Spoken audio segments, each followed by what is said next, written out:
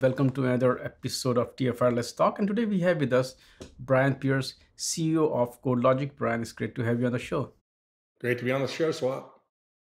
Uh, this is the first time you and I are talking to each other, so I would love to know a bit about the company itself. So, talk about the company, please. Yeah, sure. Uh, great company started, uh, you know, a, few years ago to build a, a you know an unparalleled platform uh, using newer technology to help developers uh, be more productive, uh, be able to develop software uh, without uh, breaking it, having uh, an understanding of uh, of what their software structure is, so when they make changes, they don't break it. Um, and the company's been around for about almost three years, but just now we're we're really launching the platform. When you say that, you know, to help developers, first of all, the definition, not definition, but the role of developers it has also kind of evolved over time, especially if you look at the cloud native world. Uh, developer's job doesn't just end with hey write the application and you're done. A developer has also become the operator a developer has also become the security uh, folk. Uh, so when you uh, uh, and also uh, things are so complicated in especially cloud anywhere so when you talk about making a developer's life easy so so talk about which aspect and how do you help them then we'll also get into the platform as well. But i want to understand that what is the area of focus for CodeLogic? Yeah sure. I mean the whole reason we designed this soft continuous software uh, intelligence platform uh, was today there's a problem just as you mentioned very complex software development. Uh, microservices making it even more complex. Developers are just sometimes scared to go in and make changes because they don't understand what they're going to break uh, and what CodeLogic has done using unparalleled kind of newer technology around graph database, things like that, is we go in and actually scan the binaries of post-compiled files and also see what's happening with the application when it's actually running. And we use all that along with connecting to the database to see how the APIs and methods and the data is all connecting. What are all the dependencies? And I think what makes us really different is scanning those binaries because, as you know, many of the dependencies are actually created when you compile the code. Many things happen with dynamically generated SQL commands, for instance, while the application is running that create dependencies that are just unknown from scanning basic source code, which is probably the most prolific way that people look for dependencies today talk about the the platform that you are announcing. And also uh, you said continuous software intelligence. Uh, can you talk about how different is this approach from the ci and cd approach? Uh, where does this fit into the picture? Yeah sure. Well what i mean by continuous software intelligence is a couple of things. First of all as i mentioned earlier is just that the, the, the profiling of binaries and at runtime but I think just as important is our working inside the IDE where the developer works every single day and being able to pop into CodeLogic from their IDE plugin and see where all the dependencies are uh, immediately before they make the change and have some confidence that when they make the change, what all is that going to touch in the structure of their code? What might they break? How much proactive should they be in working with colleagues to ensure that the changes that they make aren't going to break the code. Um, CodeLogic is also, as a platform, fully API enabled to fit into the whole CI/CD DevOps space. Right? We even do that in our own development team.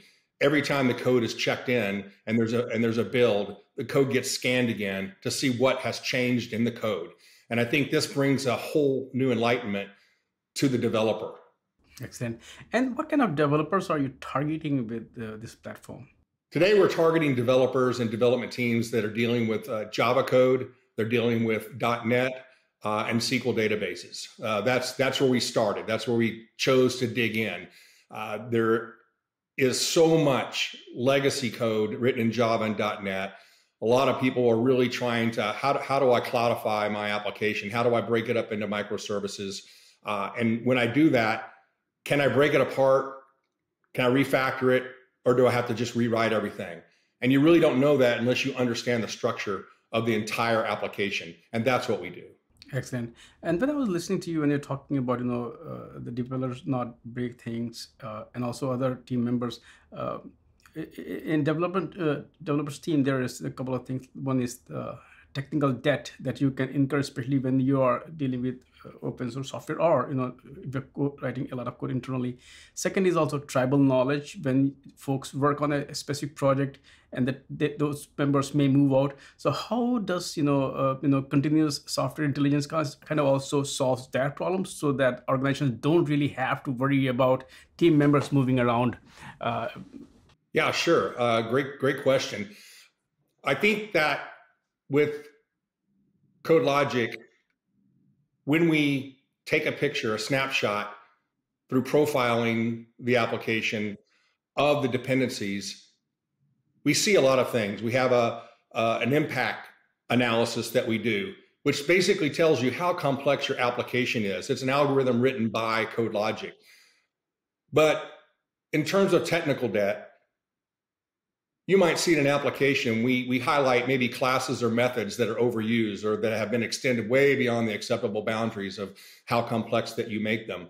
So from a technical debt perspective you know we illuminate a lot of the potential problems that could be in the code but that's not our main that's not our main use case right? As i said earlier our main use case stemmed from helping a developer not break something but there are many use cases that really fork off of that including ramping developers, documenting code and keeping it documented in terms of how the APIs and the methods connect to the database. One of our, in fact, one of our recent deals was exactly that. They were bringing on a lot of new developers. They actually wanted to train their developers and felt they could ramp the developers on the application better if they were able to see the entire structure of the application graphically. Are there other tools similar to uh, what you folks are doing in the market? And if yes what edge do you have? Or you know if i may ask why developers should you know look at CodeLogic's platform? What value do you bring to them?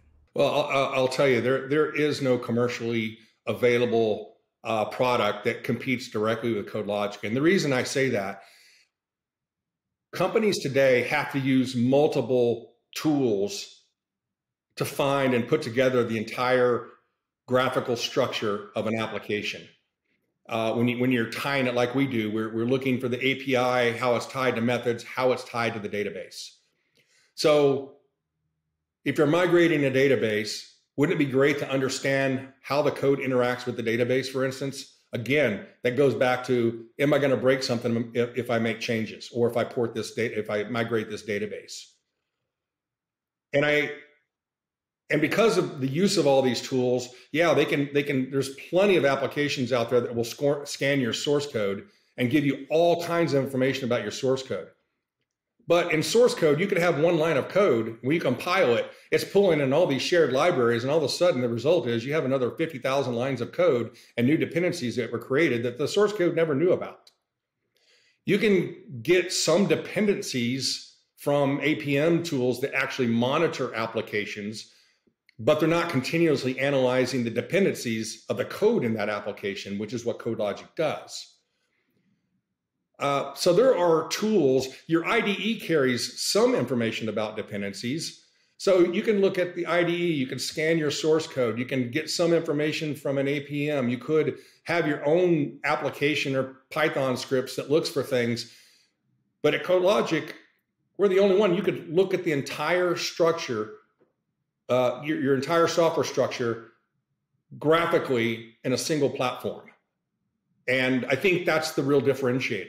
Uh, and and and also the you know the scanning of the binaries and looking at what happens at the application runtime because dependencies are created 15 20% in many cases are created during these parts of the of the process how folks can you know uh, try out this uh, platform uh, what is your price pricing model uh, is there any test uh, or demo or beta that they can try out? Yeah, number one, they can go to our website and download a free trial. Uh, number two, they can stand up. We, we actually ha- are standing up a sandbox so that people can not even have to install the software. They can go straight into the sandbox and use use the uh, the, the application itself. Brian, thank you so much for taking time out today and not only talk about the company, but also the larger problem that the software developer community faces and how CodeLogic is trying to help that. And I would love to have you back on the show, uh, but I really appreciate your time today. Thank you. Swap, thank you. We'd come back anytime.